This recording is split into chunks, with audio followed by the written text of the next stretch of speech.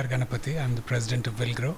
We're an incubator of social enterprises. In the last 15 years, we've supported about 125 social enterprises working in India in fields of agriculture, education, healthcare, energy.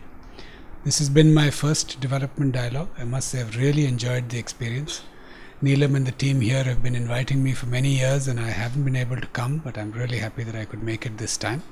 And it was very nice to hear from both global perspective as well as other incubators in India and to learn from each other. So the theme of today's uh, development dialogue has been scaling effectively. I think this is a cause that's very close to my heart. Finally, we support social enterprises at the very early stages of their journey. In the early stages, when you're small, it's very easy to be effective. It's very easy to be impactful. It's very easy to make a difference to the people that you're seeking to serve. But what happens when enterprises grow is that quality begins to suffer they begin to focus on other customer segments and the impact begins to get diluted. So it's very important for us to help social enterprises think through how they can scale, but at the same time without compromising the effectiveness of the work that they're doing. So if you're making a difference to children in schools, how can you do that when you're serving 10,000 children? How can you do that when you're serving 100,000 children?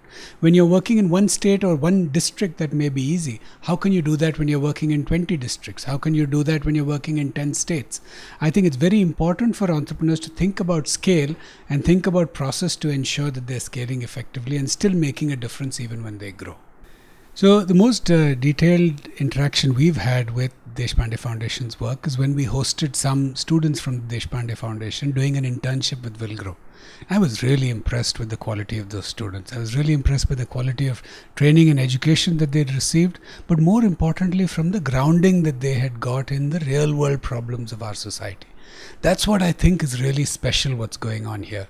Is not just are you beginning to inspire people to engage with our development problems, but you're giving them not only a sound theoretical and academic base, but also a very sound practical exposure.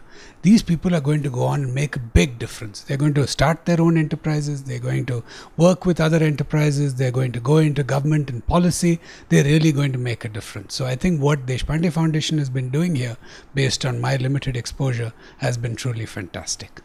So, when I first received the invitation to be a member of this panel at Development Dialogue, I jumped at the opportunity. And the reason is that I feel like there should be 100, 200 organizations like this doing the sort of work that we do. But those organizations must avoid the mistakes that we've made in the last 15 years. How can that happen? That can only happen if we came out, we spoke about our lessons, we spoke about our mistakes. And there's no forum like this because this is truly the Kumbh Mela that brings together everybody in the development sector. And in one one one and a half hour session, I've been able to connect with and share my message with so many people that I feel like it'll go a long way in helping people avoid the mistakes and learn from the lessons that we've had.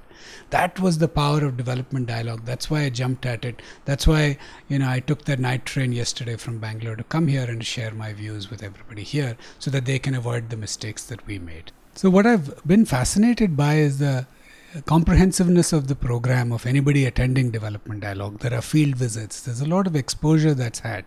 I'm sorry this time i could not attend all of those sessions. I think the next time i want to make sure that i'm here for the entire duration so that i can get the full experience.